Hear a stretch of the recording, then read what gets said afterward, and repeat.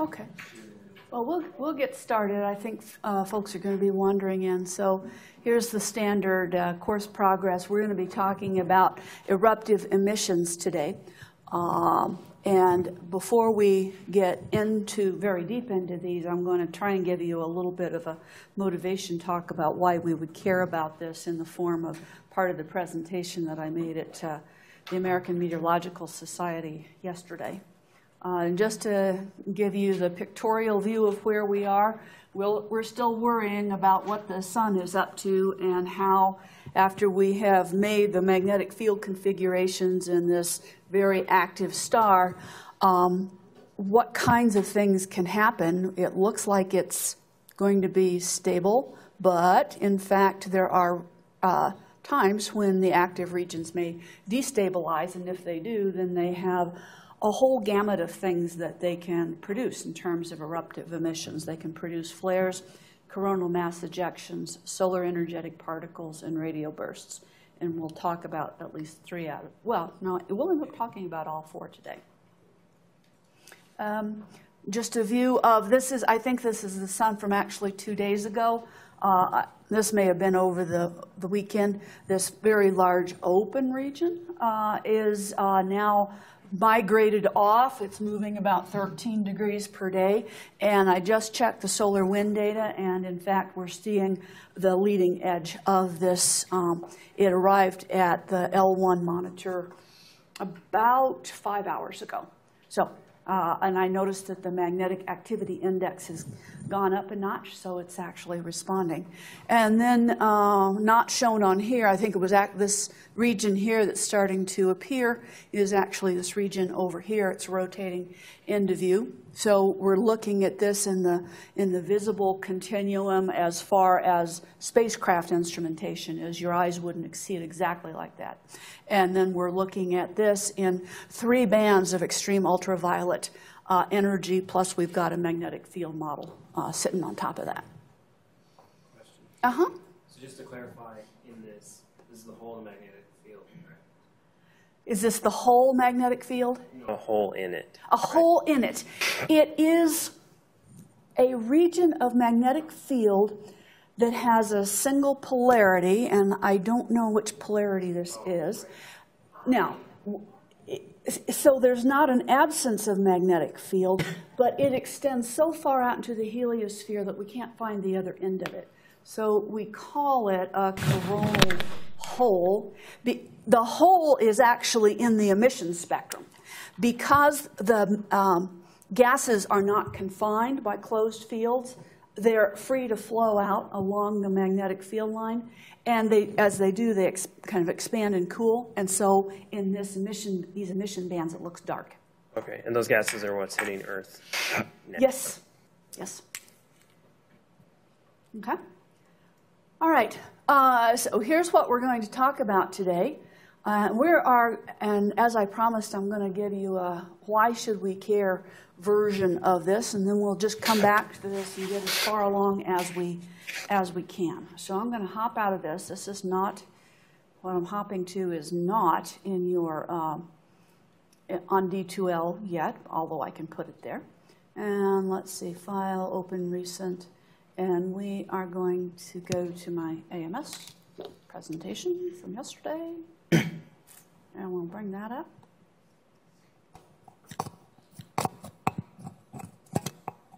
And of course, we're not where we need to be. So, yesterday I was talking to a group of meteorologists and space physicists about a storm that occurred before all of you were born and I was in seventh grade. But it is an event whose impacts were so severe that it nearly changed everything we know about society. And you go, oh, how could something like that happen? Well, let me give you a little bit of context. It occurred in what we call the Cold War. I think a number of you might have been born probably after the Cold War as we know it ended.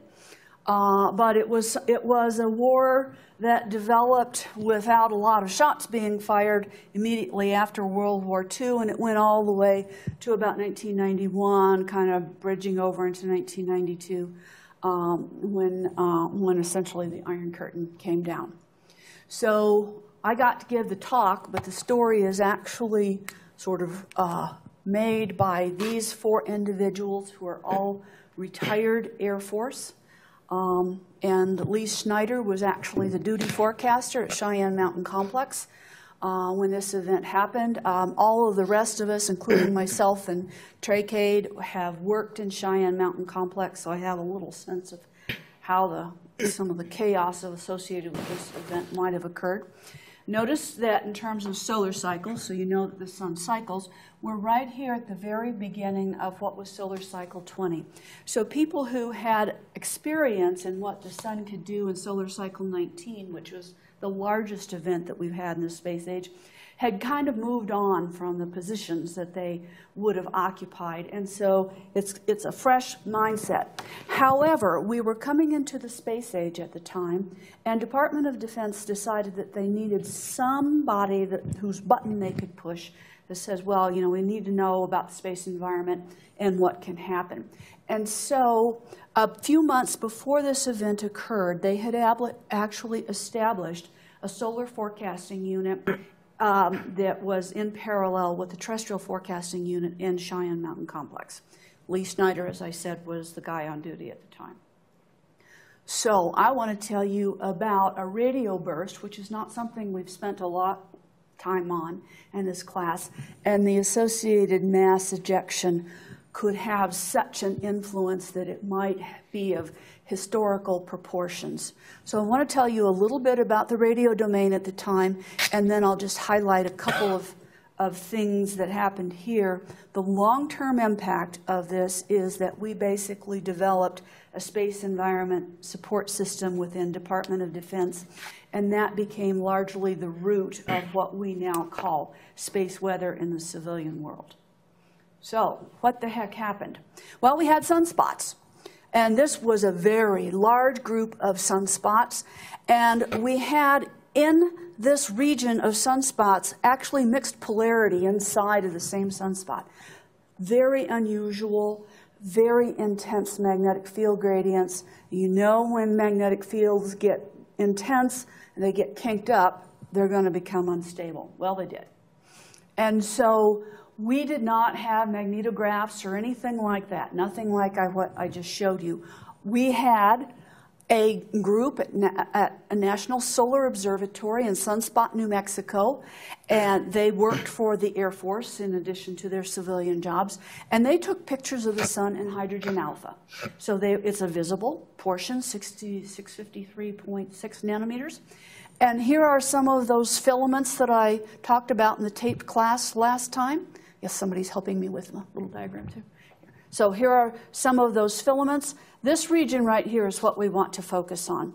So I blow it up, and this is what it looked like in this region down here in H alpha before the event takes place. Now we see the flare down here starting to occur. It's, it looks like it has two little regions. We'll come back to why that would have. And then in only a few minutes, it's blown out to essentially encompass the entire sun. We um, had mostly were looking at ground-based observations at that time. So we had the visible and we had the radio. I'll bring the radio up in a moment, but I want to tell you that just a few months before we had launched, maybe a year before, we had launched Explorer 1, and James Van Allen of the Van Allen belts actually had an X-ray detector on that spacecraft, and he was able to determine uh, and I will show you the results here, that that flare was actually what we would call an X-ray X6 flare, which, so you've already, you've looked at the X1s for your homework, so, you know, this was almost an order of magnitude larger. Significant energy coming out in the extreme ultraviolet. It was also observed in white light. Now you say, well, wait a minute, you've already told me it was in white light. This is in what I'll call red light. This is in um, you know, that specific waveband, what was happening is the event was so intense that the electrons from the flare region were being driven down into the solar atmosphere and creating light across the entire visible continuum. That's what we mean by white light. That is a big deal. Okay. And then the radio frequency interference. It goes up by three orders of magnitude, beyond anything that we had ever seen at the time. Why would I tell you that? Because in the midst of the Cold War, what we were doing was, you know, we had the Eastern Bloc and the Western Bloc. We were the Western Bloc. And our version of you know, the war as it a war as it would develop out of the Cold War is that the Eastern Bloc would be sending either missiles or aircraft, nuclear laden, across the pole to attack us. We had our own capabilities for, for response, and, and of course the other side thought for doing exactly that. So uh, early on, we had developed all of these radar lines, but by the early mid-1960s, we had three big radars. They operated at 440 megahertz, and they just constantly scanned the polar skies. Ten days before this event, we had gone through and finished a major upgrade that had been years in the making. Nothing, absolutely nothing, could get past that, right? Keep that in mind. Okay, so um, one of the issues that they had tried to deal with was this problem with radio frequency interference. I'll also mention that radio communication were needed to uh, maintain contact with the aircraft if you were going to launch them. Uh, and we did have aircraft in the air with nuclear weapons at all times during that time. So there was always somebody flying around out there with nuclear weapons. Here's the cone, a cartoon of a cone of one of those radars, and this is what it's supposed to see. It pierces one cone, so incoming, and then it pierces another, and then with that you can get a, a sense of the motion and you know track the thing. Down here is a picture of some SAC airbase, I don't know which one. Here's a bunch of aircraft lined up here, uh, and then here are the ones little kind of Christmas tree patterns that would be ready to go out to the ends of the runway and, and take off if need be. Okay, so we've got that. These guys sitting up there watching, and all of a sudden, pure noise into those radars. This is a great burst that came out in the 23 May 1967 flare out of that same region that I showed you, the white light and X-ray. We were used to seeing at dramatic 606 megahertz, which is a, we measured at five different uh, frequency ranges at Sagamore Hill on the East Coast. Uh, this is about a GPS, although we didn't have GPS at the time. That's about a GPS frequency. 606 megahertz, so that's pretty close to 440 megahertz. The value that we should have seen was about 40 solar flux units. 373,000 solar flux units at the peak of this. Well, but we have our radars ready, right? We fixed them. There's nothing that could get into them except radars have the forward beam, the side beams, side lobes, back lobes.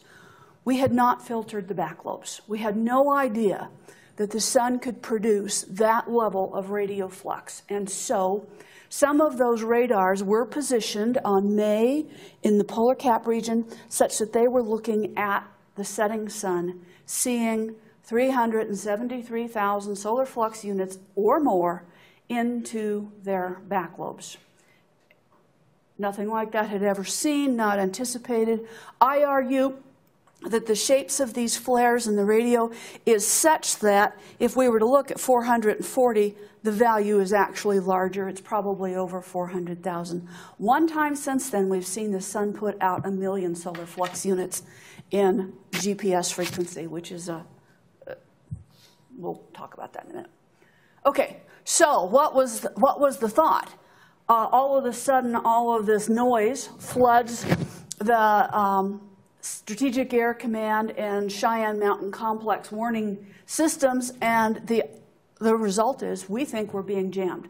At that time, full-scale jamming of, of our big surveillance systems on both sides was viewed as an act of war. So now, now we're in pretty dicey situation. So we've got the detection system jammed. Some of the alert air crews are told to prepare to respond. So off they go, sitting there, not just sitting their aircraft, but actually taxi them out to the ends of the runway. You know, that's one level from taking off, and you just didn't launch aircraft with nuclear weapons on a whim. It was a big, big deal to have some fraction of the force sitting out there just waiting. And the other issue that goes with this, we, we go, what, you know, it's pretty big. Could we be jammed? Did somebody did somebody reveal all to the other side and they've gotten into our system and they're actually messing with it? You know, this is so broad, so big. No clear answers, except we've got this one solar forecaster uh, who was trained here at CU. CU uh, APS department had a different name at that time, but they were basically the primary trainers for the Air Force, one of the primary training sites. So we had folks down there who had gotten their training uh, here and a couple of other places, and they're going, oh, oh, wait a minute. We know, we have already seen from the NSO down at Sac Peak that there's something going on with the sun. It is possible. It is possible that this is not an act of war. It's simply the sun being mischievous. So that information got into command authority lines pretty much just in time. If those aircraft had launched, the radio communication situation was so bad, it's not clear that we could have pulled them back. So, there we have it. Situation did slowly improved in terms of that because the radio burst died off, but what also comes with these massive solar flares are coronal mass ejections that get loose at supersonic speeds into the interplanetary medium, and they start accelerating particles. You have calculated on problem six how fast some of those particles can move. And sure enough, by late on the 23rd, those particles are starting to arrive. The measurements here were mostly being made by polar aircraft. Amazingly enough, we launched a major aircraft system into this radiation storm. We would never do that today. We just didn't know. We off it goes. It worked perfectly. And so we actually have a record of the 10 MeV, the 30 MeV, and the 60 MeV electrons for that event. This was a pretty major solar radiation event. If we had had astronauts on orbit at the time, we would have told them to take cover in their sleeping quarters. This was ugly. And it stayed ugly for a week. And not only is it ugly to somebody out in space, but those particles scream into the upper atmosphere, uh, change the radio propagation characteristics of the upper atmosphere in the polar regions. And so now you've got essentially another um, problem in looking across the pole. You, your radio communications are just a wreck, and they maintained at minor level for, for well over a week. You go, well, okay, you know, everybody kind of knows it's a, it's a problem event. Well, just everybody will stand down. But there's more. We used those radars not only to look and see what was coming in, but we used them to track uh, things in orbit. And so NORAD at the time had a tasking to keep track of the relatively, by these days, meager um, uh, amount of things in orbit. But because, when the energy finally did arrive in terms of the coronal mass ejection, the number of things that we were tracking at that time. Let's see here, 1967 would have been about 2,000, and apparently we lost track of about half of them. Now, how are we going to reacquire them? Well, observers, Nunn-Baker cameras, really fancy cameras, all kinds of things, or you could use your radars. But your radars in the polar cap are not working very well. So it took a very long time to try and figure out where things were. And furthermore, this was, get, now it's getting into the realm of the kind of work I do, a major disruption. There was somebody out there with Nunn-Baker cameras looking for spacecraft at all altitudes. This was Jacchia. Some of you might recognize that name if you've done any kind of orbit analysis. Uh, he's the person who basically created the, the really fundamental um, system for forecasting satellite drag. What he was able to determine from his measurements is that the entire atmosphere suddenly saw at orbit altitudes a 500 degree temperature spike, and then whoom, it crashed. Very rare that the temperatures actually crash like that. Usually they have a nice long decay. It turns out that this event was so strong that it changed the chemistry of the upper atmosphere and created a chemical in copious amounts that actually overcools the atmosphere. And that is the kind of work that I'm doing. I just had a paper accepted last Sunday on these types of events. How can things go so horribly wrong? You know it's going to heat up, but why does it crash and actually end up colder than when it started? That's the sign of a very bad storm.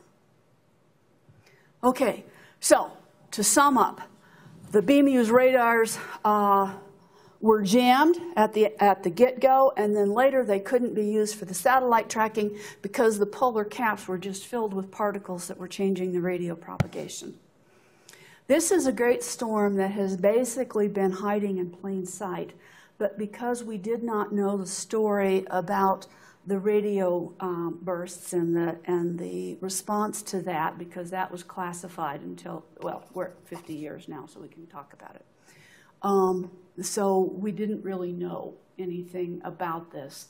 I was able to find, by digging into the literature, about 50 articles that had been published in the last 40 to 50 years that describe various pieces of this storm. But it wasn't until we published this in this summer that we were actually able to see the really the big picture of how important this storm was and as I mentioned, the Department of Defense took this to heart. We had started with space environment support system people in the 1960s, once manned space flight, and our understanding of intercontinental ballistic trajectory started to form up. And we said, oh, we need to know something about the space environment. Uh, somehow my operations at, well, in 1966 is when we started um, forecasting out of Cheyenne Mountain. Here's the May 67 event. Now we've got this delta in the number of people involved, so it looks like it goes up by about 30. So it practically doubled overnight. And then by the time 1979 comes along, we've got the ionosphere, the magnetosphere, and all of these other spheres that I've basically uh, told you about. And so we're trying to figure out what's uh, what's going on there. So, to summarize, this was a great solar radio burst, the likes of which we have seen once since then. Um, it appeared to be an act of war, but fortunately we had people in Cheyenne Mountain, some of them trained here at CU, who could tell command authorities that maybe not. It still pretty much rattled and tested our system for a whole series of days because we know these emissions travel at different times, you know, take different amounts of time to get here. And so for a full week, we were in a fairly compromised position. It ultimately ended up changing the way Department of Defense and then anybody who supports Department of Defense, which is a large fraction of groups of people who work here, uh, consider the space environment. So if you want to read more, uh, the paper is here. It is also freely downloadable, and I will put a link to the freely downloadable version um, up on in course notes so that you can so that you can see that.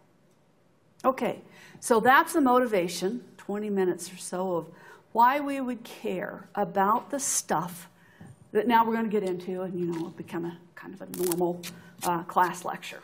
But um, questions about that? It's kind of like, well, yeah. Uh, this goes back a couple slides, but what do we do to look at a sunspot to know its polarity?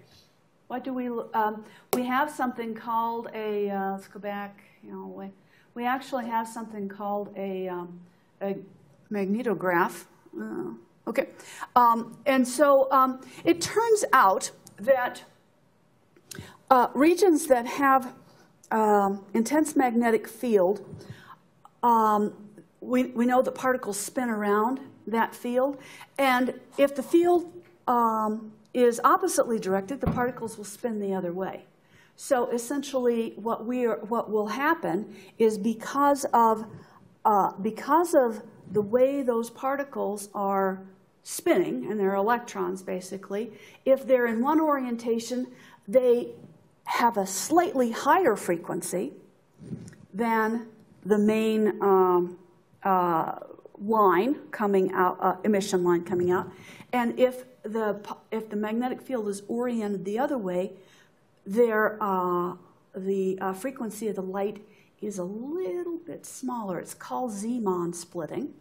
And basically what we are seeing is an individual emission line gets spread out and split out just a little bit, and we can take advantage of that and uh, use that to say, are we in an inward pointing field or an outward pointing field?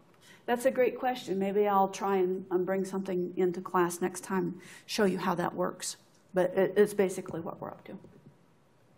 And so that, that technology existed well back into the 1960s. I'll point out the name McIntosh here. Pat McIntosh lived here in Boulder. He was one of the people who actually observed the white light flare from just across the street. Uh, he was on his lunch break and just loved to watch, um, watch the sun. He has created an archive that goes from about 1964 to uh, 1990 something or other. Um, I should know that because I'm going to be involved in helping to, to resurrect that. It's All paper copy. So we have an NS, we, Royal We, have an NSF grant to actually digitize that, colorize it, and put it into a, uh, the, a uh, scheme where we can go from here to here looking at the maps that he created religiously um, every day or every few days.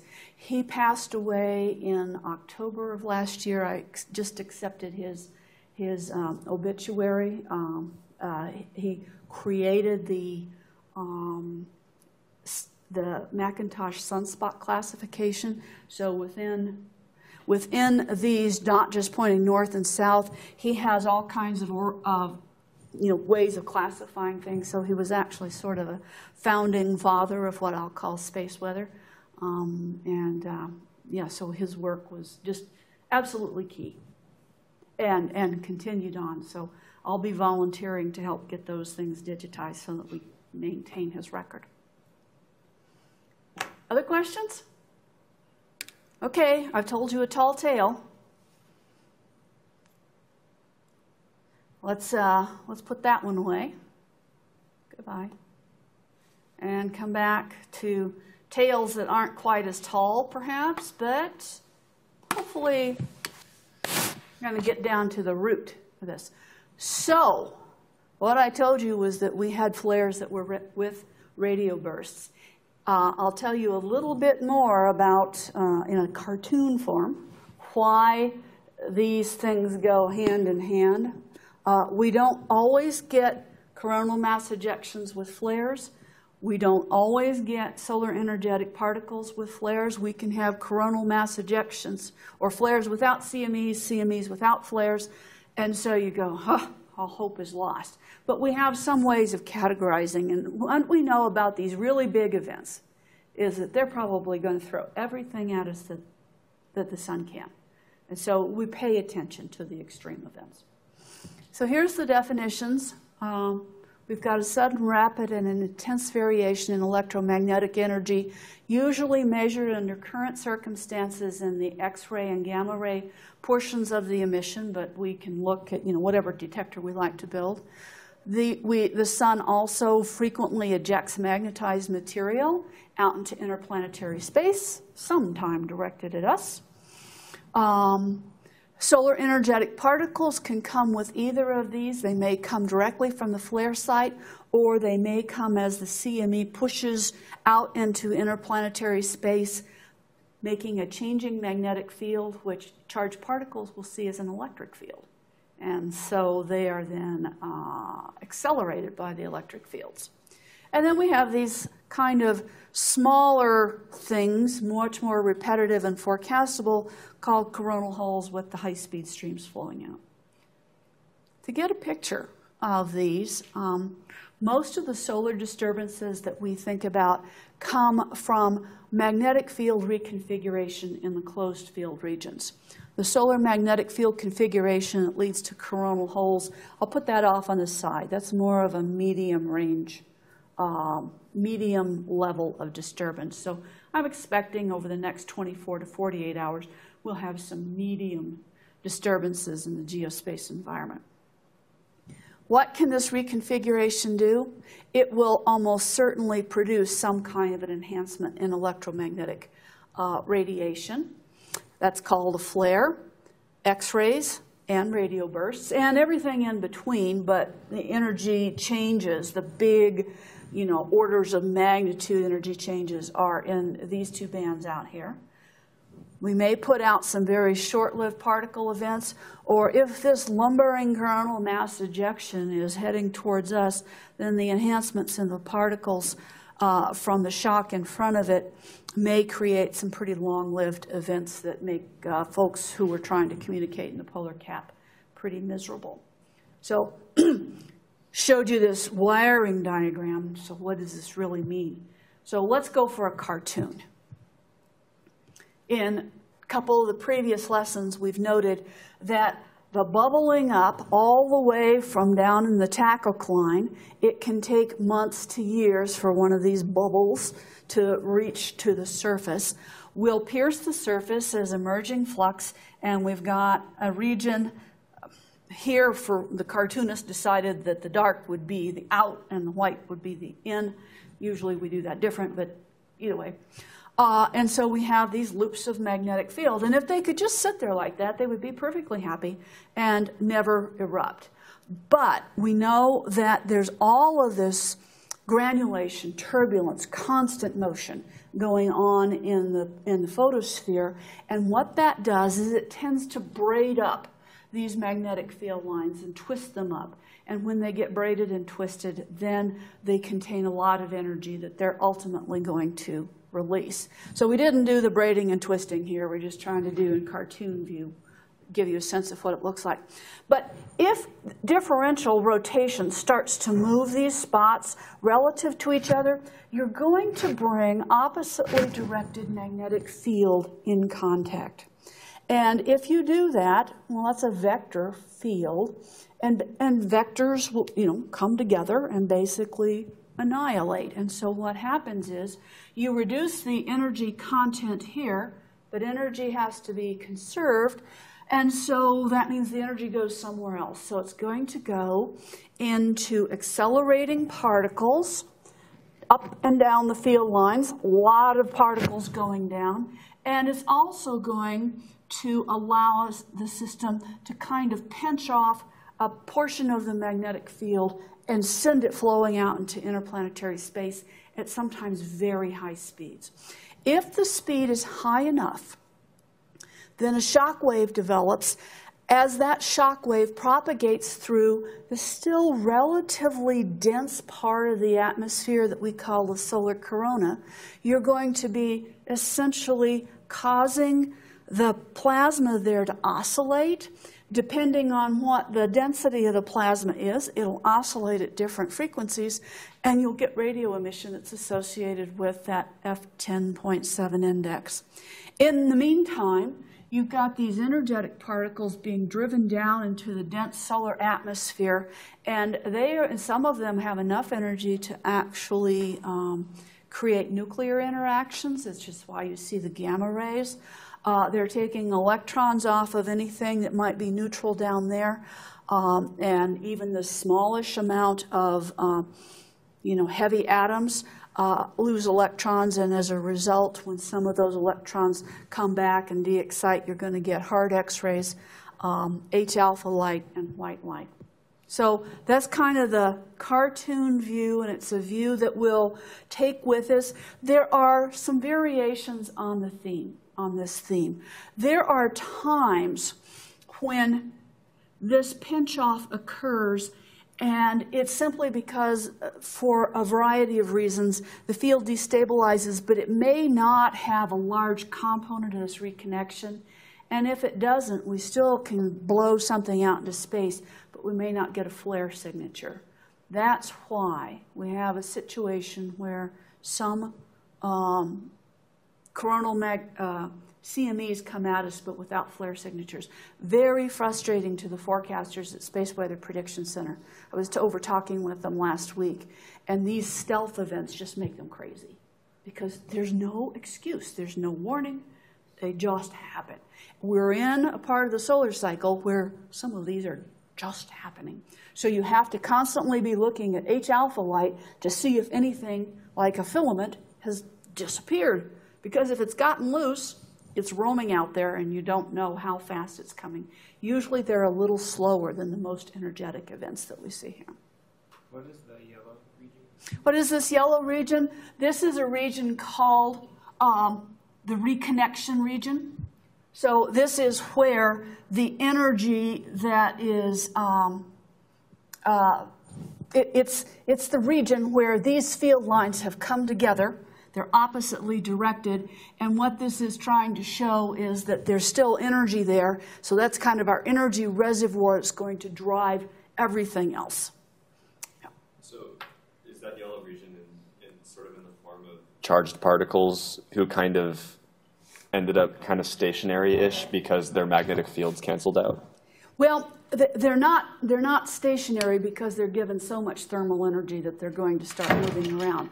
But what happens in this, so this yellow region is kind of a, huh, what's going on region. It represents the energy, energy reservoir that can thermalize the plasma so, plasma. So we give the plasma essentially higher temperatures without a lot of direction. So all of a sudden the gas goes from being a million to maybe six million degrees in terms of a thermal uh, plasma. And then it's also the reservoir for accelerating particles up and down the field lines. Uh, so those are going to be uh, maybe tens of keV electrons. A typical electron energy in here might be 1 keV, so 1,000 electron volts. But when we see these flares like the ones I showed you for the May 67 event, it means that copious amounts of 50 to 100 keV electrons have been accelerated down to strip whatever is in the lower atmosphere of their electrons. So we've got directed particles, we've got thermal particles, and then we've got kinetic energy of this whole mass of things that are going to go flowing out. Now you might wonder, well, are there any rules for how much energy gets deposited where? It turns out that rule of thumb is half of the, if there is a mass ejection, Half of the energy goes out here with the big blob of cool plasma, magnetized, and about half of the energy ends up in the thermal and, and um, accelerated electron regime. So about half goes into flares or the components of flares, and about half goes into this. Now, if you want a little bit finer, sometimes these these events, because they're accelerating these particles out, some of the energy that was in that, in this big magnetized blob, uh, ends up given to those particles, maybe about 10%. So that it gives you some kind of a sense. So you might, you might call it maybe 45%, 45%, and then 10% if you do, in fact, have something that's so energetic that it's going to create an energetic particle. Um, oh yeah, so here's the color diagrams. So what we're going to be concerned about is the 45% of the energy that goes here, 45% of the energy goes here, and then uh, 10% someplace else. Uh, and I think on one of your homework problems, I've told you about how much energy is in this little reservoir right here. What did I say? It was 10 to the 27th cubic centimeters I think was the uh, 10 to 27, 10 to the 28th cubic centimeters. So that's the size, which is bigger than the Earth, by the way, if you, you know, convert. And so that's an Earth-sized container of, ener- of lots of energy. And you can figure out the energy density. I ask you to do that, problem. Okay, so to the solar flares for a bit. We see that we see them in X-ray. Rarely do we see them in white light. If we see them in white light, whoa, that's a big deal. Uh, we, we get maybe a couple, few dozens at solar cycle that we can actually see in white light. But our X-ray detectors setting up above the atmosphere now see these on a pretty regular basis. Um, and I'll just, uh, I think I've said all these things before. Uh-huh. Yeah, okay, so this is just kind of for your notes. Uh, one active region can produce literally dozens of flares as it crosses, transits the sun. Um, active region lifetimes can be days, weeks, in some cases months, maybe a couple, three rotations around the sun. Okay. You've already gotten a little bit of experience with how, in the homework set, with how we classify these. In, we have two bands of detector bands on the GOES satellites. By the way, these measurements are being made from the GOES satellites that you might recognize as giving you the big picture view of the weather down at the surface of the Earth. So they have upward and outward looking detectors that are for space environment modeling. And here's a flare that, uh, what, it didn't quite, it hit maybe M8 or M9 we always make the measurements of our flares for classification purposes with this red line here, which is the soft X-rays. The hard X-rays are getting more into the, the gamma uh, regime. Okay, so that's in the 0.1 to 0.8 nanometer band. Uh, and uh, we can you know, figure out how much energy for how long and, and, and get an estimate just in that band. But of course, there are lots of other bands that we're not looking at. So um, these are broken down into categories. Uh, so these are decadal in nature. So a peak energy flux of 5.7 uh, times 10 to the minus 2 ergs per centimeter squared is 10 to the minus fifth watts per meter squared per second, or uh, joules, if you like. Uh, and that would be essentially, with that 5 there being the exponent, that's an M class flare. People go, How did you come up with these names? Well, X is for extreme, M is for moderate. I can't spell moderate, that should be an A. C is for common. I, I, these two are true. That's mostly true. B is for background, and A is for eh. Okay. Hard and soft. So, so these uh, these are essentially the gamma rays, and the, they're they're clearly a much lower by almost two orders of magnitude flux. So we, we actually pay a lot of attention to the, rel- to the ratio of these. If we see that they're coming into alignment within a decade or half a decade, then we know that that was a very energetic flare that drove a lot of electrons down deep into the atmosphere. But our measurement for our purposes of classifying for effects here on Earth we stick with the red curve, which is the lower energy curve, but more photons coming out. Okay? How do we see that over the course of the solar cycle? I updated this from what I put on the, on the, uh, on the web. So here's solar cycle 23, and I think, what do we have? Here's the common class flare, their distribution for solar cycle 23 and 24. The X are down here in red. You can see there are many fewer of them. And this is from a, a website where um, they built a detector that um, you know even high schoolers can build, and they've got a different so they've got a different kind of detector, and they're just showing from the ground basically what they're able to uh, to see.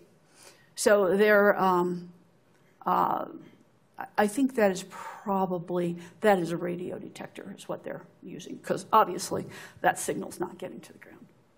Okay. So how are flares related to coronal mass ejections?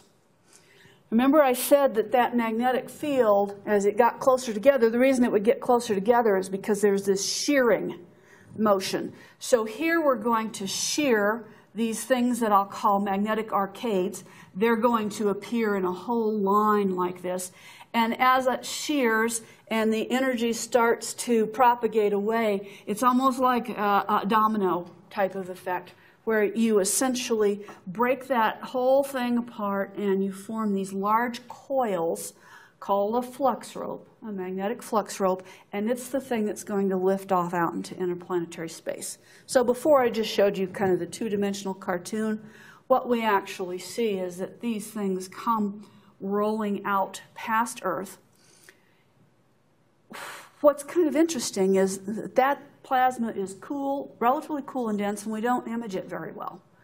What we do get to image is back down on these places where, where we've now closed the field off again and the particles become trapped, but they're heated, we can actually look down from the top here and see, uh, this is called the glowworm uh, flare, because looking at it from Earth, we could see the tops of these arcades with uh, the hot plasma trapped in um, and the magnetic field lines, and it looks like a huge, long glowworm across across the, the region. It was probably, I think this is the 2000, July 2000 event, and we can see it. We can see the plasma starting to, to heat up, and pretty soon you see this incredible view of, of the looking down on the tops of these uh, of these arches. If you can look down on the tops of those arches and see that, then you know that something has gotten loose into interplanetary space. The question is, how big, how fast, and what's its orientation? We are not very good at forecasting that. There are other slight configurations, many variations on the theme. Sometimes a flare over here will not just inject uh, electrons back down along its field lines, but will have some access to somebody else's field lines, so to speak. And so sometimes you get very mixed signals in terms of, of what that flare is going to look like. But what is amazing to me is that, that this would be the side view. If you were looking down on the glowworm uh, flare, you would be essentially looking down the top of that. That the sun can actually trap these th this plasma, and it is the trapped plasma circulating around these field lines that gives you these beautiful images of what the field lines look like. There aren't any wires there. They're just force fields. So these accelerated electrons are heating up the thermal plasma in the loop and also driving particles down, and uh, that essentially uh, creates even more emission that we see in the hard X-ray. Mm. Um, yeah. Okay. So here's just kind of for your notes the sequence of things that happen. We shear, differentially rotate, use the, the ability of the convection to twist up the magnetic field. Get that magnetic field oppositely directed to come together. The field annihilates, it frees up energy in the form of photons and accelerated particles. Soft X-rays, 1 to 10 keV, 3 keV is kind of the norm. Uh, hard X-rays, much, much hotter. Manuel? I have a question. Mm -hmm. So are those uh, arches uh, the lines of magnetic field? Mm -hmm. So how can charged particles follow the lines of magnetic field? Because usually the force is orthogonal to the lines, right? They're trapped. Well, the force is orthogonal. So they're doing like this? Oh, yeah. Okay. Yeah, so what you are seeing is essentially a ensemble view of billions of electrons making that uh, making that motion and that motion means that there are charged particles uh, changing direction and they have to emit. The force moving the, the, the particles forward is not magnetical, it's just thermal, oh, right? th that's thermal. Okay. So, so it's thermal. It's but thermal what, and magnetic. Yes. Yeah, and, and now what's going to happen is these are essentially caught in what we're going to call a magnetic bottle. If the field down here is stronger than the field up here, then they're going to go down for reasons that we will get into a little bit later in the class.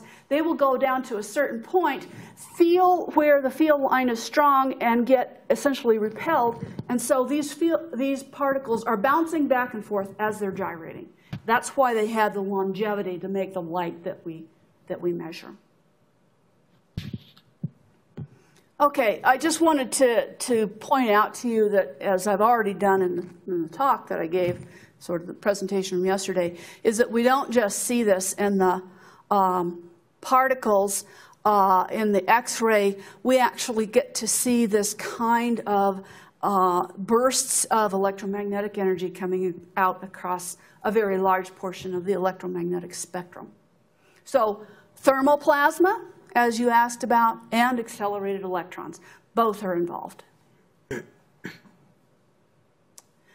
So how might that work? Well, there's one part of this. The thermal plasma is actually something called Bremsstrahlung radiation. It's coming from these kind of low energy ions. So here's an accelerated electron. It meets up with, uh, or goes by, attempts to go by a proton somewhere in the atmosphere. And it says, oh, look, you know, I should, I should head that direction. It has so much energy that it's going to skip right by, but the fact that it changes its trajectory means it changes its direction, and a charged particle whose direction changes means it's accelerated, it's going to emit radiation. And so for these pretty for these thermal particles, they're actually emitting X-ray photons simply because they see, you know, somebody that they're attracted to, but they're moving too fast to to actually be grabbed by it. And so we see all of this Bremsstrahlung radiation coming out from just this general thermal motion. Um, okay, why do we get that? Remember I, at the very beginning I showed you kind of a, a ribbon. It looked like there were kind of two little footprints. What happens is those ribbons are field lines or patches of field lines that have dimensions in and out of the board here.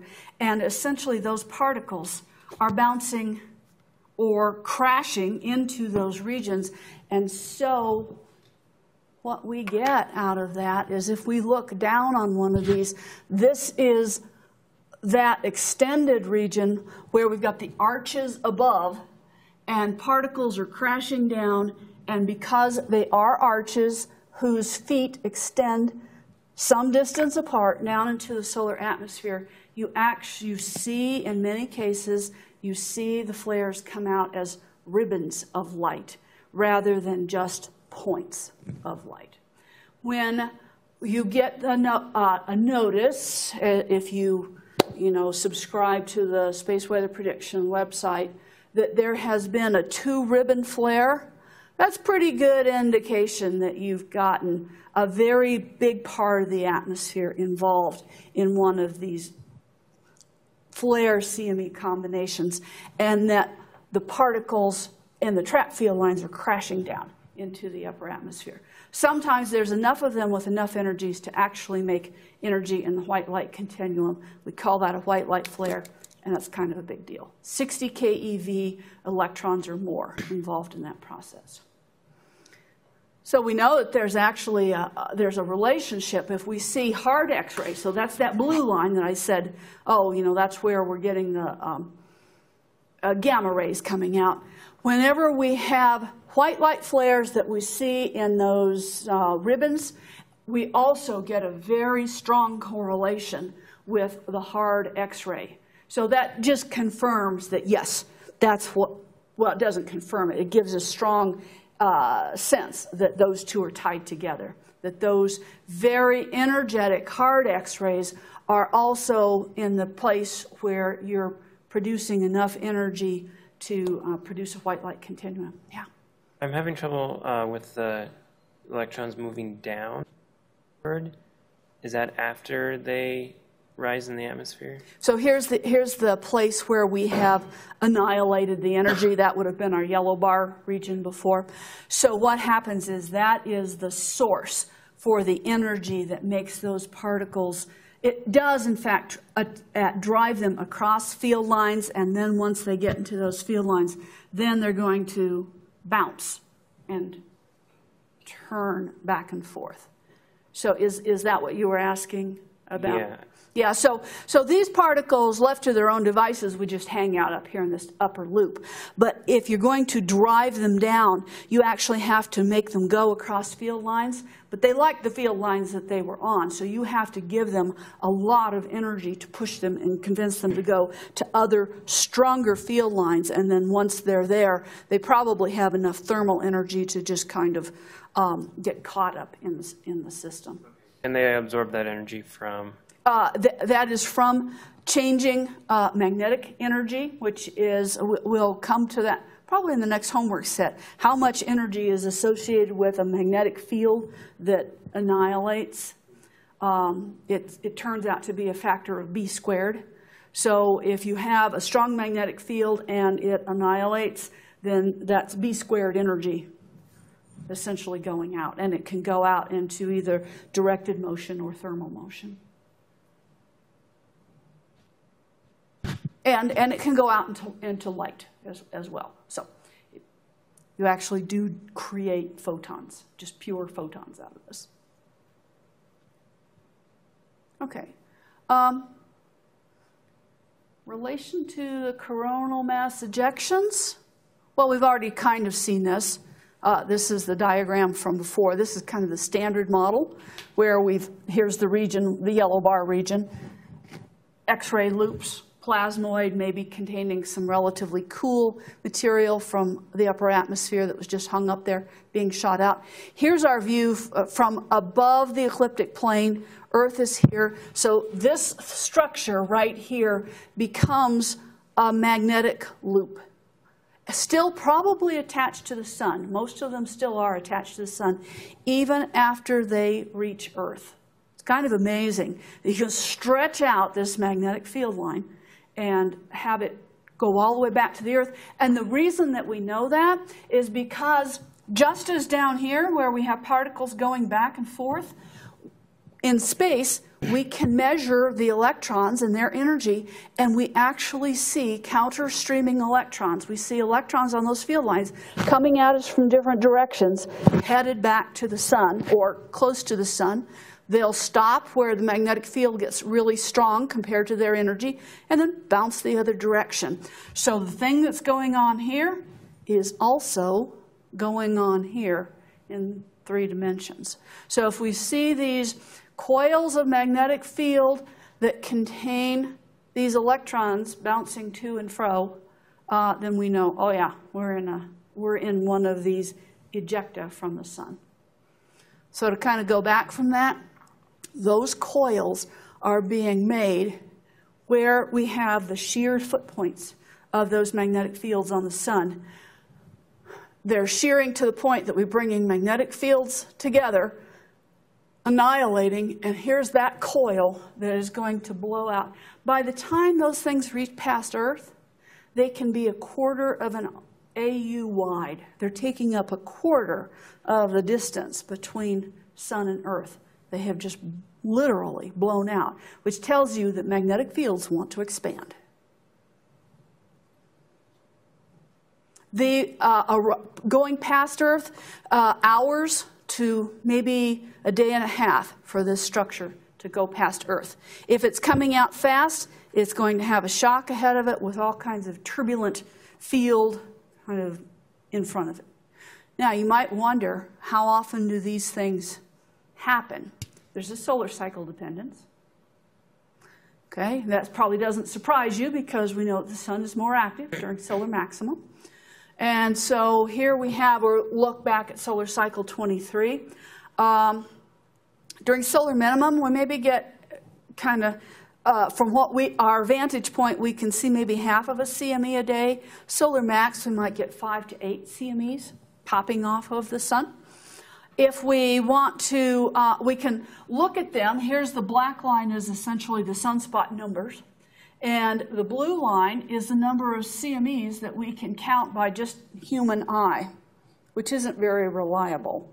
But it does look a lot like the sunspot cycle, so it says, yeah, those sunspots must be at the root of this. But if you, if you develop an automatic regime where you're not biased to look at the big events, what we see is we still see the same thing. It's just that we see a lot more of these CMEs coming out. So we're pretty much going the route of, of, of you know, um, automated detection so that we can get, hold, get a hold of the numbers of these. They have some interesting latitude distributions. So during solar minimum, most of them come out near the equator. Okay, that's where we still have most of the closed field lines for regions that we'll talk about later. And so these regions here shown bright are where we're probably going to get these coiled field lines coming off.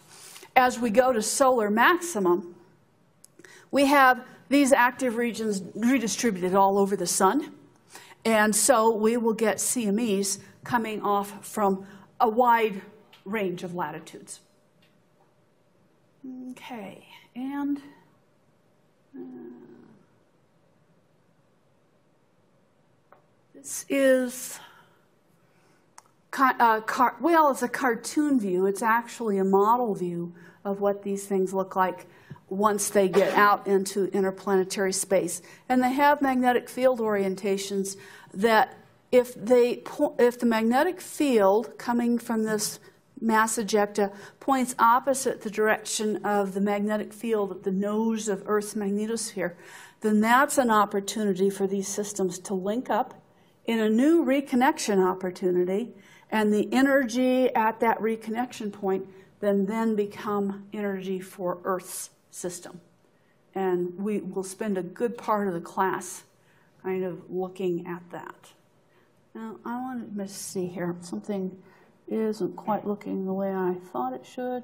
Must have, oh, here's where I want to go.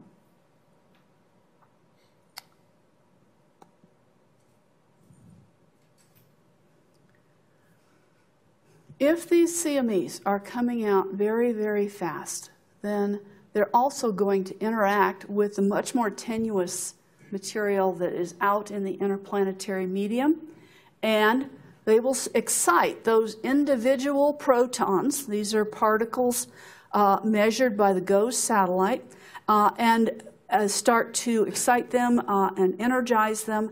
And so we actually watch for situations where we have CMEs or even not coming out, and we measure particles with different energies also on the GOES spacecraft. Uh, and so here's an event where, let's see, 2011, November 3rd, November 2nd, November 3rd, really not much going on. And then all of a sudden we start to see sort of order of magnitude increase in the number of particles. Now, the number of particles that we're talking about here are not huge. Particles per centimeter squared per second per steradian. So centimeter squared, that's your thumbnail. Okay. And so we're going to look at, ah, oh my gosh, we've got one. Or the warning criteria is if we have 10 of them coming from essentially, we're going to have a detector that's sort of looking at 2 pi steradians. It's looking out. Uh, but we're going to figure, you know, measure those. And you go, well, that doesn't seem like very much. That's not very exciting. But those particles have a lot of energy. The individual particles, not many of them, but a lot of energy. These are the particles that actually hit the solar arrays of spacecraft and have enough energy to get in and rearrange part of the lattice structure of the solar arrays. And that starts to make those um, solar arrays less efficient if you're moving individual uh, silicon atoms around. And so uh, these 1 to 10 MeV particles are a real nuisance for solar arrays. As you get more and more energetic, then they become real nuisances for humans and for other types of detectors in spacecraft. So we monitor, uh, we monitor this. This is what it can look like for a really big event. Uh, this was January of 2014, so what, about three years ago? Uh, and all of a sudden, you know, we were sitting around minding our own business, and everything, even the 60 MeV electrons, uh, I'm sorry, yeah, 100 MeV electrons uh, go up. 30 MeVs start to get partway into an astronaut's um, spacesuit.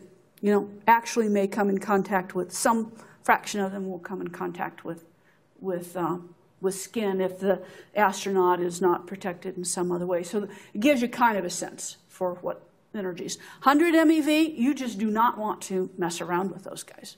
They are, they're coming after you. How does that happen? Well, here is a CME blowing out. It's one that's not clearly Earth directed. Actually, it does have a component. Notice how all of a sudden you start seeing this, all of these white traces.